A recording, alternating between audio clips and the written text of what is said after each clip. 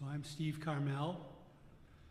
And um, these two sh- very short poems, they're almost like a haiku each, come from the six months I spent in the Northeast Kingdom going up and down my eight mile trail to town from West Mountain, where I was a fire watcher. So the first poem, and they're, they're old memories, and old memories for me happen every single day.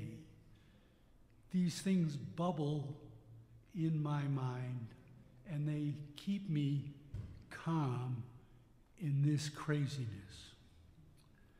So here's the first one Bright blue, beauty bud, sweet song, gurgling brook, pale pink to strong green, God's great renewal machine.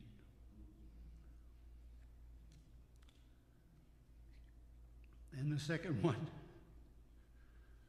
from a sharp green pine needle to a light brown cone, God's fine new home. Thank you.